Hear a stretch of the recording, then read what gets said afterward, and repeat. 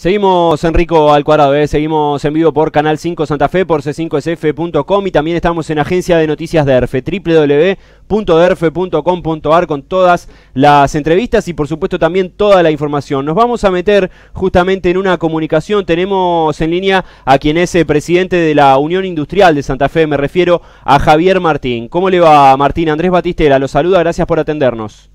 ¿Qué tal? Buen día Andrés, ¿cómo están? Bien, muy bien. Martín, queríamos consultarlo cómo está tomando la, industria toda esta crisis de, lo que es la pandemia del coronavirus y cómo se está reaccionando desde el sector.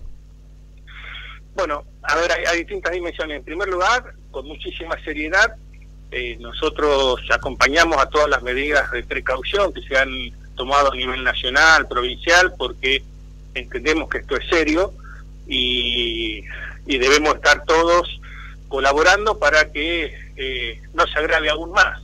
Entonces, desde ese lado, le hemos enviado a todos nuestros asociados recomendaciones de que cómo actuar, que no son ni más ni menos que las mismas que ha eh, trabajado el, Ministerio de Salud.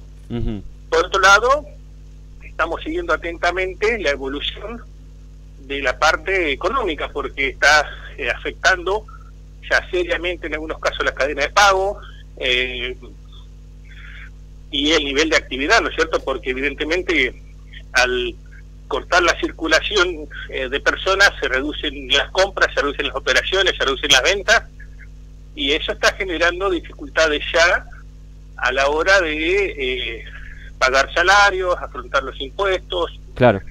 Y eso nos preocupa muchísimo, por eso que en forma paralela le hemos pedido al al gobierno nacional a través de una, una solicitada el día de hoy, que intente de alguna manera contener esto, ayudar, auxiliar financieramente, sobre todo a las pymes, porque la situación es difícil y va a ser aún más difícil. Y a fin de mes hay que pagar los sueldos, hay que pagar los impuestos, los servicios, y hoy por hoy ya la caída en la venta es significativa. Claro. Sí, para un sector que, que ya venía muy golpeado, como hemos charlado en otras oportunidades, Martín, como la gran mayoría de los sectores de la economía argentina, también hay que decirlo. Ahora se le suma esto que es, eh, bueno, básicamente me parece que es parar la rueda, ¿no? Exactamente, una, una interrupción que hasta ahora, si bien fue parcial, tiene impacto en, prácticamente todas las actividades eh, y que si esto empeora, eh, el impacto ya va a ser brutal. La verdad es que no estamos preparados nosotros para interrumpir nuestras actividades un par de semanas y afrontar todos los compromisos normales y habituales.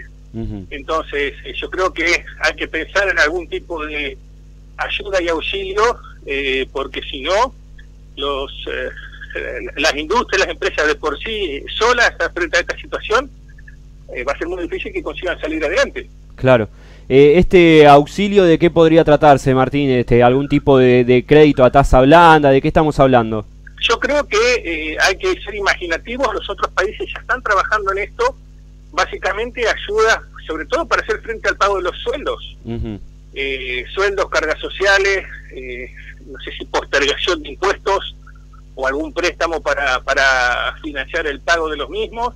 A su vez, hay muchas empresas que están endeudadas por el sistema financiero, con lo cual cubrir la cuota del préstamo también va a ser dificilísimo porque al no haber venta no hay recaudación. Claro, sí. Entonces, un combo de, en algunos casos, eh, en, las que son muy, muy pequeñas, algún tipo de subsidio directo, no lo sé, pero, pero sin la ayuda del gobierno, sobre todo a nivel nacional, va a ser muy difícil sobrellevar las consecuencias de este tipo de interrupción, ¿no?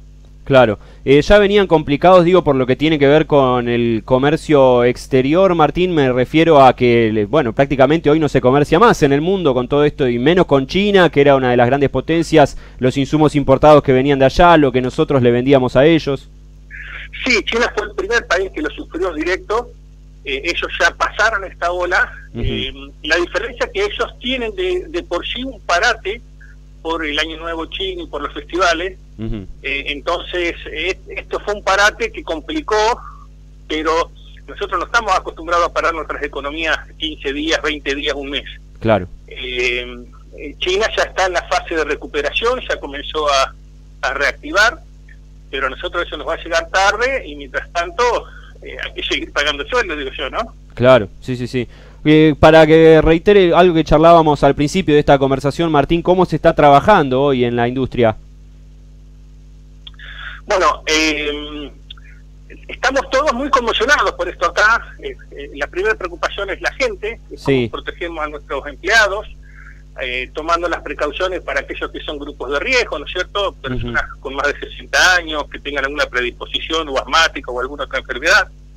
después estamos viendo cómo hacemos para que si existe algún contagio no afecte a todo el grupo de personas. Estamos separando los grupos de tareas, eh, pero en algunos casos se hace difícil porque sobre todo en las pymes no hay tantos, no hay tanta gente.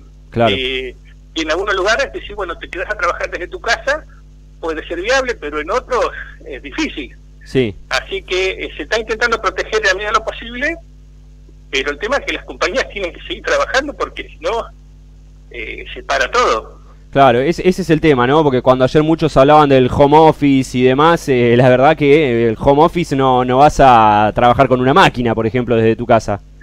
Claro, para algunas actividades es viable, es posible, pero eh, para lo que es la producción, el mismo comercio, uno, una cosa es comprar por internet, pero alguien te lo tiene que entregar, alguien tiene que preparar el pedido.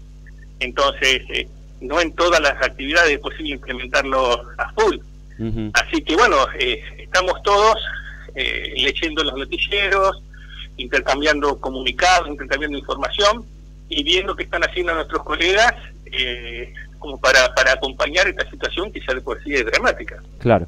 Martín, le agradecemos eh, por este contacto y seguimos charlando pronto seguramente. Gracias. Bueno, que tenga muy buen día. Gracias. Muy buen día. Eh. Eh, Javier Martínez, el presidente de la Unión Industrial de Santa Fe, para ir tanteando cómo los distintos sectores están reaccionando y accionando a partir de lo que es la crisis del coronavirus, porque